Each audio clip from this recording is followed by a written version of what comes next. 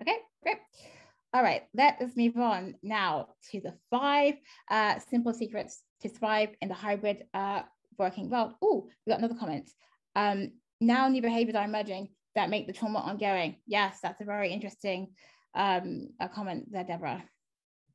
Okay, so the first uh, secret, ta-da! Um, and yes, the picture is obscured purposefully, uh, because we are still in a kind of, um, you know, feeling our way through this um, hybrid working world, and it's not quite there yet and still constantly evolving. Um, oh, more comments. So Louise says, for example, to start with, I wasn't bothered about being isolated because I'd worked for myself um, for a long time, but now I miss the social interaction of the office environment. Yes. Um, new behaviors. Some people try to ignore it and don't test. Yes. Others are still stressed and impacted and creating an uncomfortable workplace. Yes, exactly. Um, and this is the point that there's a, there's a, um, a spectrum of people's um, beliefs and attitudes um, to what is happening now out in the world. And it's also directed by um, you know, government and national policy. So we have to be mindful that everyone is under, in different place, in different space, but also um, as organizations and companies, we need to be um, clear about you know how we're operating and how we, we think it's best for our people to operate um, and to talk to them about uh, that practice um, and procedure um, and to, to you know make sure people feel consulted and have different ways to be able to comply because obviously you know it's a very complex situation that we're in. Uh, mm, seems like a hybrid of behaviors and attitudes too. Yes, for sure, for sure. Okay, so um, the number one thing here is um, own your hybrid working boundaries. So what does that mean? Um, so, you know, with the hybrid working world, we have to be uh, organized, we got plan ahead, and we have to keep clear boundaries. So what, what in regards to what? So working hours, it's so easy, especially when from, from home, to be always on um, and to have those um, notifications being very invasive and overwhelming and stressful.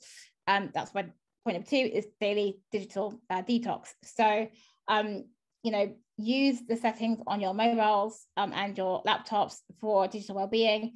Um, the mobile phones now, most smartphones have digital well-being settings, which you can use to varying degrees um, and according to your, need, your needs. So please do investigate them if you haven't already done so.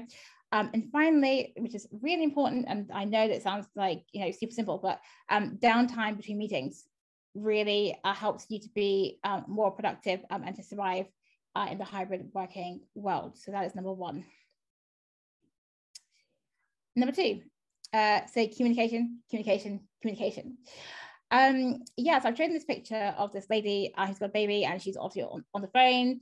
Um, she's probably talking to her colleague and she's, you know, probably involved in some kind of um, teleconference.